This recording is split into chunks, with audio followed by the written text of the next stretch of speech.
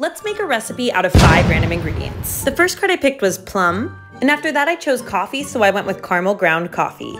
Next, I chose biscuits, and then I chose ketchup, which was super weird, and then I chose granola. I started by cutting up my juicy plum, patting it dry, and sticking it in the freezer. Next, I combined flour, sugar, and baking powder for the biscuits, and I pulled it together with some cube butter until I had the consistency of wet sand. I combined some milk and ketchup, which was really weird. I mixed in an egg and some vanilla, and I combined my wet ingredients with my dry ingredients. And I also added in some frozen plums. I set my biscuit cookie dough in the fridge, and I went to the gym. And when I came back, I put my biscuit cookies in the oven, and I brewed some coffee. I creamed together some butter and cream cheese. I added in some vanilla vanilla, salt, and a lot of powdered sugar, and then I added in my caramel coffee. I cooked my frozen plums with some water and sugar to make a plum syrup. And finally, I piped my frosting, drizzled some syrup, and crumbled on some granola. Okay, this looks good. Let's take a bite.